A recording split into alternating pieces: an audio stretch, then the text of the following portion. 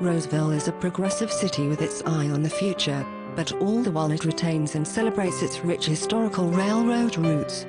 Located in Placer County along the eastern edge of the Sacramento Valley at the base of the Sierra Nevada foothills, Roseville is a mere 16 miles from Sacramento, the state capital.